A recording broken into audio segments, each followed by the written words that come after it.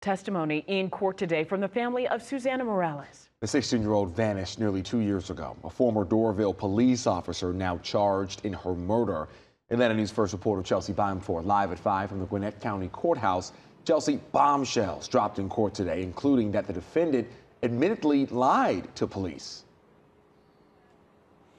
Well, the defense is adamant that Miles Bryant did not kill uh, uh, Melissa Bryant, but they say that he did lie to police about uh, his firearm being stolen. In the last half hour, we also learned through a testimony of a friend that Bryant allegedly interacted with Morales at a neighborhood pool about six days before she went missing. She said Susana never arrived there. Tears fell from Maria Brand's eyes Wednesday as she told jurors what she remembered about the night her daughter, Susana Morales, went missing. During opening statements, prosecutors said Morales walked to a friend's apartment on July 26, 2022, to smoke marijuana.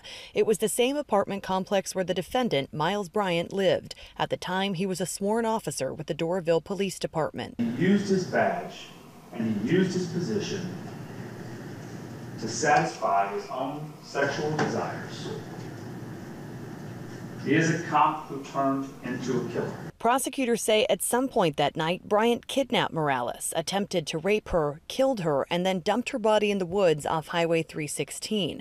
The next morning, he filed a police report claiming someone had stolen his state issued gun. But seven months later, when investigators found Morales' remains, prosecutors say Bryant's gun was nearby. He did make a false report of his gun being stolen. The defense admitted in court Wednesday that Bryant lied about what happened to his firearm, telling jurors that by the end of the trial they would understand why. Despite that admission, attorney Tracy Blake, who's representing Bryant, told the jury there's no evidence he actually killed the teenage girl. It is fine to hate Miles Bryant. You can hate him all you want.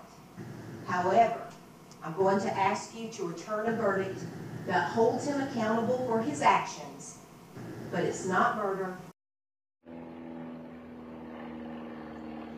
And prosecutors also said today that cell phone data places Bryant at the same scene where Susana's body was found in the hours after she went missing.